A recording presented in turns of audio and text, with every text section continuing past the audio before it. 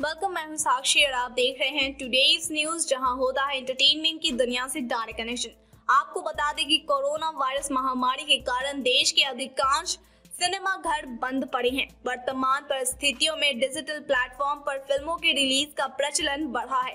अब खबर है कि संजय लीला बंसाली के निर्देशन में बनी आलिया भट्ट की फ़िल्म गंगूबाई काठियावाड़ी ओटीटी पर भी रिलीज़ की जाएगी। बता दें कि गंगूबाई काठियावाड़ी के डिजिटल राइट्स 70 करोड़ रुपए में एक ओटीटी प्लेटफॉर्म को बेचे गए हैं। इसके अलावा खबर है कि संजय लीला बंसाली अपना डिजिटल डेब्यू भी करने वाले हैं, जिसमें आलिया भट्ट को लेने का मन बना रहे हैं।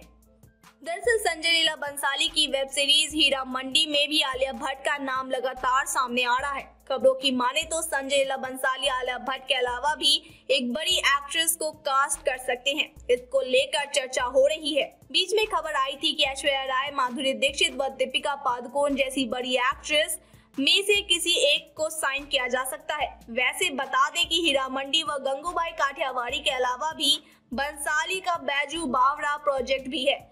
जिसकी स्टार कास्ट का ऐलान होना बाकी है। थैंक यू सो मच की watching for more entertainment news and update